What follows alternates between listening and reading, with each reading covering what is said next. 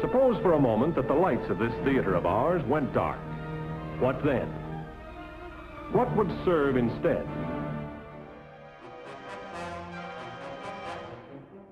COVID 19 isn't the first time Hollywood has been disrupted by a pandemic. The 1918 flu influenced the strategy of studio titan Adolph Zukor of Paramount Pictures. Zukor sensed an opportunity when the pandemic happened. So many movie theaters were closing, and, and the, the exhibitors were uh, losing their, their shirts. This fit very well into his plan for vertical integration.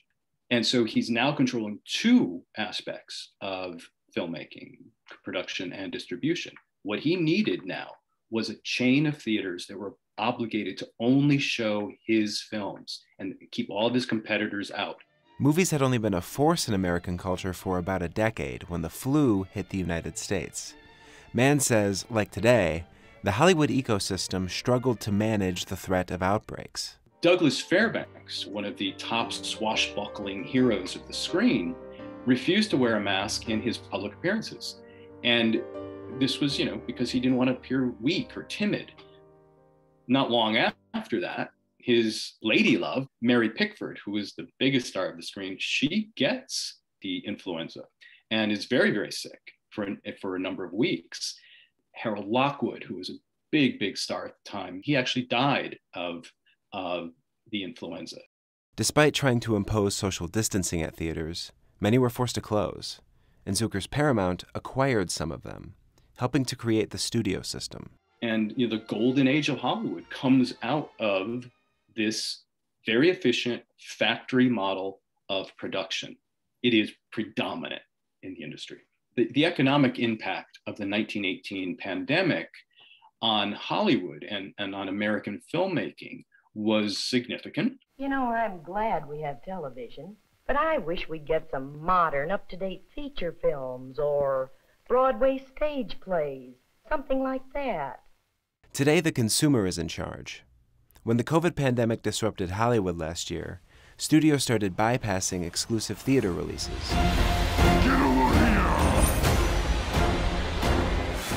Allowing audiences to stream new movies at home. Universal Pictures released the animated movie Trolls World Tour exclusively on demand taking in a record 100 million in three weeks.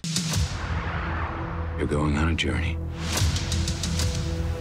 All you have to do is follow my voice. Warner Media was saying, uh, this is pandemic rules. Nobody's going back to the theaters for all of 2021. And at the same time, Warner Media is saying, we're the future, streaming's the future, this is the model. Gonna shake up this world.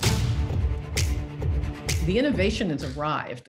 Zukor would be cheering on Netflix and HBO Max and, and all of these streaming services because they're using his model in many ways. They're controlling the production, the distribution, and the exhibition of these moving pictures that they're creating. And that was the, the most efficient model in 1919, but it was also the most efficient model today. While Warner Media has since announced it will return to theatrical releases in 2022, it's clear the movie-going landscape has changed one of the unintended consequences of Adolph Zukor's new model was that many independent filmmakers, the vast majority of them, could no longer compete because they didn't have access to the theaters anymore. And I think the structure is being different now in that streaming and cable uh, provide so many different platforms for content. And while that makes me concerned about the future of the theatrical part of the industry, I think the consumer is the one who's going to win here because the numbers of choices they have are so much greater.